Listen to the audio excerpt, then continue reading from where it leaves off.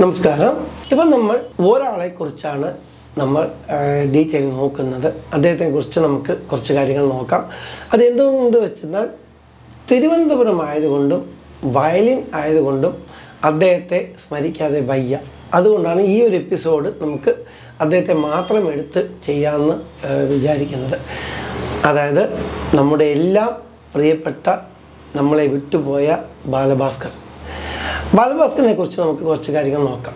ഞാൻ ബാലഭാസ്കറിന്റെ പറയാൻ പോകുന്ന കാര്യങ്ങൾ എന്ന് പറയുന്നത് പഠിക്കാൻ വയലിൻ പഠിക്കാൻ ആഗ്രഹിക്കുന്ന സ്റ്റുഡൻസ് മനസ്സിലാക്കേണ്ട കാര്യങ്ങളാണ്. ആ സ്റ്റുഡൻസ് എന്താണ് മനസ്സിലാക്കേണ്ടത്?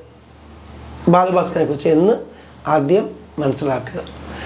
അതായത് ബാലു ചെറുപ്രായത്തിൽ ഒത്തിരി സന്തോഷങ്ങൾ മാറ്റിവെച്ച ഒരു വ്യക്തിയാണ്. അതായത് കളിച്ച് കുട്ടികൾ സ്കൂളിൽ വിട്ട് വന്നാൽ കളിച്ച് ചിരിച്ച് ഓടി കളിക്കേണ്ട പ്രായത്തിൽ പുള്ളി സ്കൂൾ വിട്ട് വന്നാൽ നേരെ മാമന്റെ വീട്ടിൽ പോവുക വയലിനെടുക്കുക രണ്ട് മൂന്നും മണിക്കൂർ പ്രാക്ടീസ് ചെയ്യുക പഠിക്കുക പിന്നെ വരിക സ്കൂൾ പാഠം പഠിക്കുക. ഇങ്ങനെ കുറേ വർഷങ്ങൾ നല്ല സ്കൂൾ വർഷങ്ങൾ മൊത്തം പുള്ളി ഇങ്ങനെയാണ് ചെലവഴിച്ചിട്ടുള്ളത്. അതൊന്നും അന്നൊന്നും ആർക്കും ബാലുവിനെ അറിയില്ല. മനസ്സിലായില്ലേ അത് കഴിഞ്ഞ് പുള്ളി സ്കൂളിൽ യൂത്ത് ഫെസ്റ്റിവൽ വരുമ്പോഴാണ് ഞാൻ പത്താം ക്ലാസ്സിൽ ഞങ്ങളുടെ ഗ്രൂപ്പ് പങ്കെടുക്കുന്ന അതേ വർഷം ബാലു ആറാം ക്ലാസ്സോ ഏഴാം ക്ലാസ്സോ ഉണ്ടായിരുന്നു. അവരുടെ ഗ്രൂപ്പും പങ്കെടുത്തു. ബാലു അപ്പം തന്നെ നിന്ന് വായിക്കാനുള്ള ഒരു പ്രാക്ടീസും തുടങ്ങിയിരുന്നു. കാര്യം കോളേജ് സ്കൂൾ കോമ്പറ്റീഷൻ എന്ന് പറയുമ്പോൾ നിന്ന് വായിക്കാനേ പറ്റത്തുള്ളൂ. കീബോർഡ് ഇവരൊക്കെ നിൽക്കും അത് കഴിഞ്ഞ് കോളേജിൽ കയറുമ്പോഴാണ് ശരിക്കും പറഞ്ഞാൽ ബാലു അടുത്ത ഒരു ലെവലിനെ കുറിച്ച് ചിന്തിക്കുന്നത് കോളേജിൽ വരുമ്പോൾ ഒത്തിരി വേറെ ഇൻസ്ട്രുമെന്റ് വായിക്കുന്ന ആർട്ടിസ്റ്റിനെയൊക്കെ അവിടെ നമുക്ക് പരിചയപ്പെടാൻ പറ്റും. അതുവഴി അവരൊരു ഗ്രൂപ്പ് ഉണ്ടാക്കുകയും അതിനു വേണ്ടിയുള്ള ശ്രമങ്ങൾ നടത്തുകയും ചെയ്തു. അപ്പോൾ ബാലഭാസ്കർ എന്താ ചെയ്തു എന്നുള്ളത് നമുക്ക് ആദ്യം മനസ്സിലാക്കണം. വർഷങ്ങളോളം കർണാട്ടിക് മ്യൂസിക് വളരെ കൃത്യതയോടെ ആ ഫണ്ടമെന്റൽസ് എല്ലാം പുള്ളി അദ്ദേഹത്തിന്റെ മാമന്റെ അടുക്കൽ പഠിച്ചു എന്നാണ്. ശശികുമാർ സാറിന്റെ അവിടെ. അതിന്റെ ഒരു ഗുണമാണ് പിൽക്കാലത്ത് ബാലുവിന് എന്തൊക്കെ ചെയ്തിട്ടുണ്ടോ അതിന്റെ എല്ലാം ബേസ് കിട്ടിയത് അവിടെ നിന്നാണെന്നുള്ളത് ഇക്കാലത്ത് പഠിക്കുന്ന കുട്ടികൾ മനസ്സിലാക്കുക. പലപ്പോഴും പലരും നമ്മ എന്റെ തന്നെ ക്ലാസ്സിന് വരാൻ നേരത്ത് പറയുമ്പോൾ കൊച്ചുകുട്ടികളായി കഴിഞ്ഞാൽ അവരുടെ ഇൻസ്പിറേഷൻ ആരാണ്? എങ്ങനെയാണ് വയലിൻ പഠിക്കാനുള്ള ആഗ്രഹം തോന്നി വെച്ച് കഴിഞ്ഞാൽ ബാലഭാസ്കറിന്റെ വയലിൻ കേട്ടു എന്ന് തന്നെയാണ് പറയുന്നത്. അവരാരും നമ്മളെപ്പോലും പറയുന്നില്ല. അപ്പം ബാലുവിന്റെ വയലിൻ കേട്ടു ബാലുവങ്കളുടെ വയലിൻ കേട്ടു അപ്പോൾ അതുപോലെ വായിക്കണം എന്നൊക്കെയാണ്. പക്ഷെ അവരുടെ മനസ്സിൽ ബാലുവിനെ കാണുന്നത് സ്റ്റേജിൽ വായിക്കുന്ന സിനിമാ പാട്ട് വായിക്കുന്ന ബാലുവായിട്ടാണ്. അതിലുപരി അവർ മനസ്സിലാക്കിയിട്ടുണ്ടോ എന്നുള്ളത് സംശയം വരുന്നു. അതുകൊണ്ടാണ് ഞാൻ ഈ വീഡിയോ കൃത്യമായിട്ടും ചെയ്യണം എന്ന് വിചാരിച്ചത്. അതിൽ നോക്കുമ്പോൾ പലർക്കും ബാലുവിന്റെ ഈ ബേസിക് നോളജിനെ കുറിച്ച് അറിയത്തേയില്ല. പലർക്കും അറിയാം ആർട്ടിസ്റ്റിനൊക്കെ അറിയാം. പലർക്കും പുതിയ കുട്ടികൾക്ക് അറിയില്ല. ബാലു ആദ്യം കർണാട്ടിക് മ്യൂസിക് പഠിക്കുകയും കച്ചേരികൾ ചെയ്യുകയും മാമന്റെ കൂടെ തന്നെ ചെയ്യും. ഒത്തിരി വർണങ്ങൾ വായിക്കുകയും അതിന്റെ രണ്ടാം കാലം മൂന്നാം കാലം നാലാം കാലമൊക്കെ ട്രൈ ചെയ്യുകയും അതുപോലെ തന്നെ രാഗന്താന പല്ലവികൾ പല പല രാഗങ്ങൾ രാഗമാലികകൾ എന്നിങ്ങനെ വേണ്ട അത്ര കോമ്പസിഷൻസ് ബാലു പഠിച്ചിട്ടുണ്ട്. അത് കഴിഞ്ഞ് പുള്ളി പതുക്കെ അതിനെയൊക്കെ ഒന്ന് ചിട്ടപ്പെടുത്തി ആ കൈയുടെ എന്തു പറയും? ഇന്നോവേഷൻസ് ഫൈവ് സ്ട്രിങ് വയലിൻ വായിക്കുക അതിന്റെ കൂടെ തന്നെ പെർഫെക്റ്റ് ആയിട്ട് ആ വർണങ്ങളും എത്ര ഗമകം വേണം നമ്മൾ എന്താ വായിക്കുന്ന വയലിന്റെ ഏരിയാസൊക്കെ നമ്മൾ വായിക്കുന്നുണ്ടോ എന്നൊക്കെ മനസ്സിലാക്കി അതിലൂടെ പ്രാക്ടീസ് ചെയ്യുക. പിന്നെ അതിലൂടെ പതുക്കെ ഫിലിം സോങ്ങിലോട്ട് പുള്ളി വരിക. ഫിലിം സോങ് ആ ഗ്രൂപ്പ് നന്നായിട്ട് ഡെവലപ്പ് ചെയ്ത് കൊണ്ടുപോയ ഉടൻ പുള്ളിയുടെ ഓൺ കോമ്പോസിഷൻ ചെയ്തു വരിക. ആക്ച്വലി ഒരു ആർട്ടിസ്റ്റ് എന്ന് പറയുന്നത് എന്റെ ഓൺ അഭിപ്രായം നമ്മൾ വർണം കീർത്തനം എന്ന ഒരു സ്റ്റേജിൽ ചെന്ന് നിർത്തിയിരിക്കുകയാണ് നമ്മൾ. പക്ഷെ ഒരു മ്യൂസിഷ്യൻ എന്ന് പറഞ്ഞാൽ പുള്ളിയുടെ ഓൺ കോമ്പോസിഷൻ വരുന്നത് വരെ ഉള്ള എല്ലാ ലെസൺസ് തന്നെയാണ്. ഈവൻ ദോ ഐ കൺസിഡർ ആ കീർത്തനം ആസ് എ ലെസൺ അതിൽ നിന്നും എന്തൊക്കെ എടുക്കാൻ പറ്റുമോ അതും കൂടി എടുത്തിട്ട് വേണം നമ്മൾ ഒരു മ്യൂസിക് കമ്പോസ് ചെയ്യാൻ. അപ്പം അങ്ങനെ ബാലു ചെയ്ത ഒത്തിരി മ്യൂസിക് നമുക്കറിയാം. സൂര്യ എന്നുള്ളത് ഏറ്റവും വലിയ ഹിറ്റായ ഒരു മ്യൂസിക്കാണ് അല്ലാതെ പുള്ളിയുടെ ലെറ്റ് ഇറ്റ് ബിയിലൊക്കെ നോക്കിക്കഴിഞ്ഞാൽ ഒത്തിരി സരസ്വതി രാഗത്തിലും ഒക്കെ ഡിഫറെന്റായിട്ട് ചെയ്തിട്ടുണ്ട് പുള്ളി. അപ്പോൾ അതെല്ലാം കിട്ടിയ കഴിവെന്ന് പറയുന്നത് ഈ നമ്മുടെ കർണാട്ടിക് മ്യൂസിക് പ്രോപ്പറായിട്ട് പഠിച്ചുകൊണ്ടാണ് പ്രോപ്പറായിട്ട് അത് മറക്കരുത്. ഒരു വോക്കലിന്റെ ലെസൺ മാത്രം വയലിൽ വായിച്ചിട്ട് കർണാട്ടിക് മ്യൂസിക് പഠിച്ചു എന്ന് പറയരുത്. അത് വയലിൻ ഒരിക്കലും കംപ്ലീറ്റ് ആവത്തില്ല എന്നുള്ളത് മനസ്സിലാക്കുക.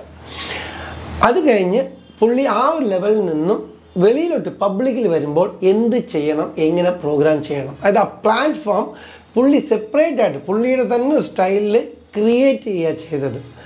അങ്ങനെ ക്രിയേറ്റ് ചെയ്തതാണ് നമ്മൾ പിൽക്കാലത്ത് കണ്ടത്. ഫ്യൂഷൻ വായിക്കുക ഫിലിം സോങ്സ് വായിക്കുക ഒക്കെ ചെയ്യുന്നത് പിൽക്കാലത്ത് കണ്ട പുള്ളിയുടെ പെർഫോമൻസ് ആണ്. അതിന്റെ അണ്ടറിൽ എത്ര സ്ട്രോങ് ബേസ്മെന്റ് പുള്ളി കർണാടിക് മ്യൂസിക്കിൽ ഉണ്ടാക്കിയിട്ടുണ്ട് വയലിനിൽ ഉണ്ടാക്കിയിട്ടുണ്ട് എന്നുള്ളത് അറിയണം. എന്നാൽ മാത്രമേ നമുക്കത് മനസ്സിലാകത്തുള്ളൂ. അതിൽ വളരെ കുറച്ച് വീഡിയോസ് നമുക്ക് യൂട്യൂബിൽ കിട്ടിയിട്ടുണ്ട്. ബാലുവിന്റെ ലൈവ് പ്ലേയിങ് മാമന്റെ കൂടെയുള്ള പ്ലേയിങ് ഒക്കെ കുറച്ച് വീഡിയോസേ ഉള്ളൂ. അപ്പോൾ അതൊക്കെ കണ്ടാൽ നിങ്ങൾക്ക് മനസ്സിലാകും. പുള്ളി ഇരുന്ന് വായിക്കാൻ തയ്യാറാണ് നിന്ന് വായിക്കാൻ തയ്യാറാണ് നടന്ന് വായിക്കാൻ തയ്യാറാണ്. നമുക്കെല്ലാം ഇഷ്ടപ്പെട്ട പോലെ ചിരിച്ചുകൊണ്ട് വായിക്കുവാനും പുള്ളി കേപ്പബിളാണ് അപ്പോൾ ഇതൊക്കെ ചെയ്തിട്ട് ഇനി ബാലുവിനെ കുറിച്ച് പറയുകയാണെങ്കിൽ ബാലു എന്നൊരു വ്യക്തി ഈ ഒരു ഡ്രാസ്റ്റിക് ചേഞ്ച് വയലിന് കൊണ്ടുവന്നിട്ടില്ല. അല്ലെങ്കിൽ ഒരു ഇന്നോവേഷൻ കൊണ്ടുവന്നിട്ടില്ല എന്നുണ്ടെങ്കിൽ സത്യം പറഞ്ഞാൽ ഒരു രണ്ടായിരത്തി പത്ത് രണ്ടായിരത്തി രണ്ടായിരം മുതൽ രണ്ടായിരത്തി അഞ്ച് മുതൽ ഉള്ള കുട്ടികൾ ഇത്രയും പേര് വയലിൻ പഠിക്കുമെന്നുള്ള സംശയമാണ്. കാര്യം അത് കഴിഞ്ഞ എല്ലാവരുടെയും റോൾ മോഡൽ ബാലുവായിരുന്നു എന്നുള്ളതിൽ യാതൊരു സംശയവും നമുക്ക് വേണ്ട. അതുപോലെ തന്നെ ഒരു സ്റ്റേജിന്റെ നടുക്ക് നിന്ന് നമ്മുടെ നാട്ടിൽ വയലിൻ പ്രോഗ്രാം അല്ലെങ്കിൽ വയലിൻ കോൺസെർട്ട് അല്ലെങ്കിൽ വയലിൻ ഫ്യൂഷൻ ചെയ്ത ഒരു വ്യക്തി എന്ന് പറഞ്ഞ് വേറെ ആരുമില്ല. അത് ബാലു തന്നെയാണ്. ഇത്രയും ഹൈ ലെവലിൽ ജനങ്ങൾക്ക് ഒരു എന്ത് പറയും ആ ഒരു ആ സന്തോഷത്തിന്റെയും വയലിന്റെ ഒക്കെ ഒരു ഇങ്ങനെ സ്പ്ലാഷ് ചെയ്തു എന്നൊക്കെ പറയത്തില്ലേ? അത്രയ്ക്ക് കൊണ്ടെത്തിച്ചു ആ സുഖത്തിനെ. അപ്പോൾ അതെത്തിച്ച ഒരു മഹാനായ വ്യക്തിയാണ് ബാലഭാസ്കർ. അതുപോലെ തന്നെ ഡ്രസ് കോഡിങ്ങിലും വളരെ സിമ്പിളായിട്ടും ഒരു വൈറ്റ് ഷർട്ടായാലും ഒരു കാർഗോ സെറ്റ് പോലും ഞാൻ കണ്ടിട്ടുണ്ട് പുള്ളി പ്രോഗ്രാം വായിക്കുന്നത് പക്ഷെ അത് മതി. ജനങ്ങൾക്ക് ഏറ്റവും നല്ല മ്യൂസിക് കൊടുത്താൽ അവരത് കേൾക്കാൻ തയ്യാറാണ് എന്ന് പുള്ളി നമുക്ക് ഒന്നുകൂടി കാണിച്ചു അതുകൊണ്ട് നാളെ മുതൽ എല്ലാവരും കാർഗോ സെറ്റ് വായിക്കുക എന്നുള്ളതല്ല ഇമിറ്റേഷൻ പ്ലേയിങ്ങിൽ വരണം. അല്ലാതെ ഇത്തരം കാര്യങ്ങൾ ഇമിറ്റേറ്റ് ചെയ്തിട്ട് കാര്യമില്ല. അപ്പോൾ അത്തരം സിംപ്ലിസിറ്റി ചെയ്താൽ സിമ്പിളായിട്ട് വായിച്ചാൽ ജനം കേൾക്കും നന്നായിട്ട് വായിച്ചാൽ എന്ന് കാണിച്ചു കൊടുത്ത ഒരു വ്യക്തിയാണ്.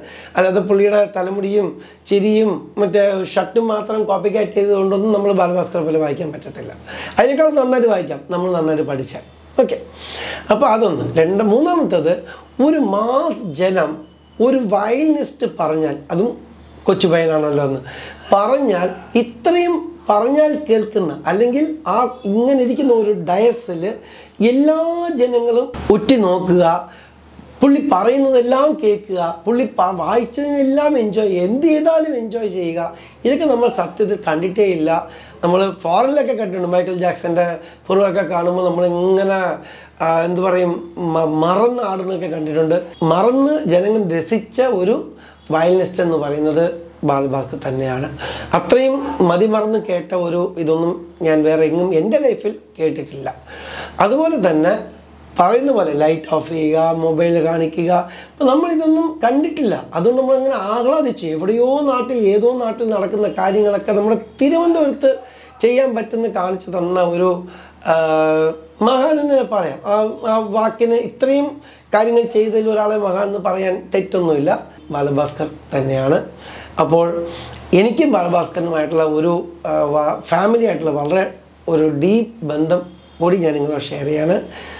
എന്റെ ജീവിതത്തിൽ ഞാൻ ജനിച്ച് ഭൂമിയിൽ വന്ന ഉടൻ എന്റെ ദേഹത്ത് ആദ്യത്തെ തുണി അല്ലെങ്കിൽ കുട്ടി ഉടുപ്പെന്ന് പറയും അത് ഫസ്റ്റ് ഉടുപ്പ് എനിക്ക് തുന്നി തന്നത് ബാലുവിന്റെ അമ്മയാണ്.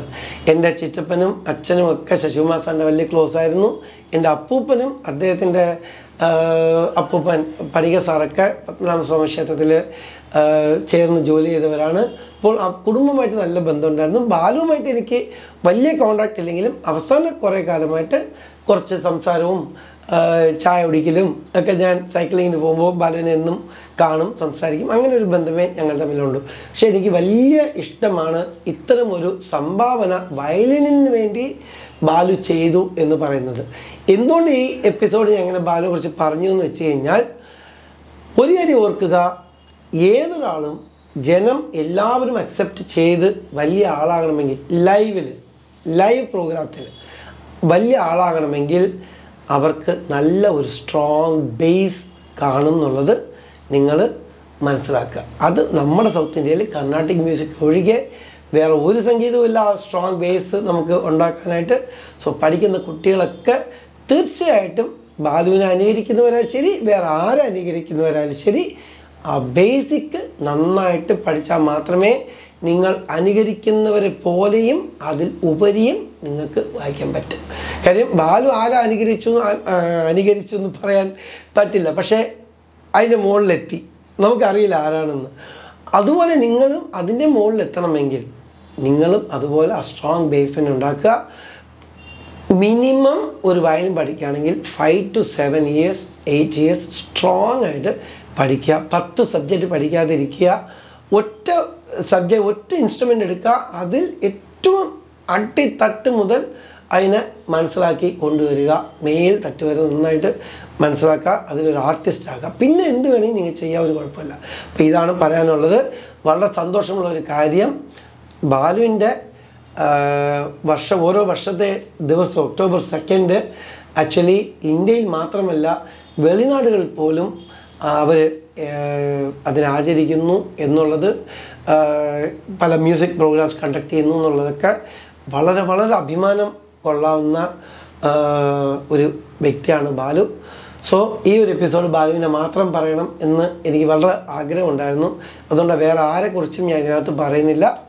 അപ്പോൾ ബാലുവിന്റെ ആത്മാവിന് സമാധാനം സന്തോഷം എന്നും ഉണ്ടാവട്ടെ. നമ്മുടെ കൂടെ നമ്മൾ വായിക്കുന്ന ഇതുപോലത്തെ പ്രോഗ്രാം ചെയ്യുമ്പോൾ എല്ലാവർക്കും ബാലുവിനെ ഓർമ്മ വരാതിരിക്കത്തില്ല. ആര് വായിച്ചാലും ബാലുവിനെ നമ്മൾ ഓർക്കും ബാലു നമ്മുടെ കൂടെ തന്നെ ഉണ്ടെന്നുള്ള ഒരു വിശ്വാസമുണ്ട്. അതുപോലെ ഇനി ഇനിയും ഒത്തിരി നമ്മുടെ ആർട്ടിസ്റ്റുകൾ പഠിക്കുന്ന കുട്ടികൾ അതുപോലത്തെ വേദികൾ പുതിയതായിട്ടും അതിനേക്കാളും വലിയ വലിയ ഷോ ചെയ്യട്ടെ. എല്ലാവർക്കും ആശംസകൾ നേരുന്നു. നന്ദി നമസ്കാരം.